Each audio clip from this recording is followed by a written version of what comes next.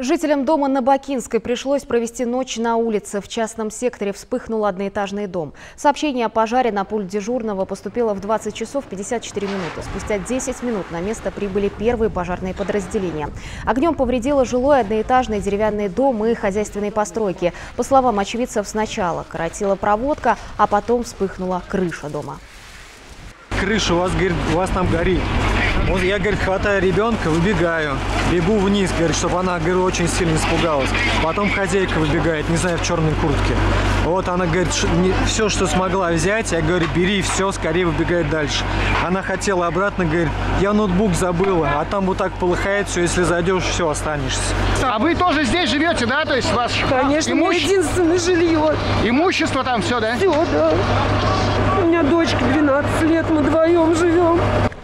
Тушении пожара были задействованы 9 единиц техники и 46 человек личного состава. В 10 часов вечера горение было полностью ликвидировано. К счастью, никто не пострадал. Точная причина пожара по-прежнему неизвестна.